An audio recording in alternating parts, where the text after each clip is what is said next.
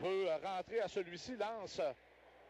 Et là, ben, Bussière et Lefrançois. Ah ben ça, c'est peu commun. Félix Lefrançois et Raphaël Bussière, deux très bons joueurs de hockey, mais qui euh, Pas des habitués. ne se hein? battent jamais, oui. Là, les deux se retiennent. Bussière euh, semble avoir un petit sourire. Oh là, oh, là, il va de la droite. A touché légèrement la Ouais. visière, je Ouais. pense, de Lefrançois. Euh, C'était quand même bien tenté par Bussière, qui a une plus grande portée, il faut le dire, que le capitaine de l'Océanique.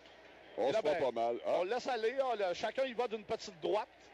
Et là, ben, le François recule Bussière contre la baie vitrée. Ouais, là, je ben. pense qu'on a. Ça va être assez. Ben, wow! pas un combat pour euh, mettre dans les archives celui-là, Michel, mais